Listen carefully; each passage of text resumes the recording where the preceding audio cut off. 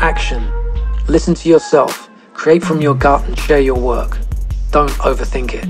Yeah, we used to say that a lot. I mean, you've got to start somewhere on projects, and often, like, where you start is absurd or terrible or a mess, but you have to kind of be willing to do that. You don't have the necessarily have the best idea, but if you don't share your idea, that'd probably be the worst thing you could do. Move fast, get feedback, don't be afraid to fail, because you, you could turn essentially a micro failure to a macro win.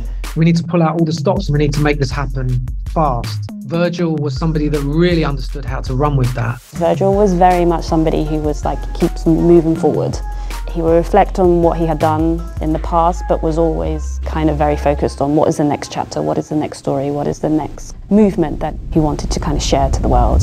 I think that that's where the real magic starts. This whole idea of like experimenting and keep making uh, instead of overthinking it. They refer to it as V vibes, implying that it's you know you have to exude positivity.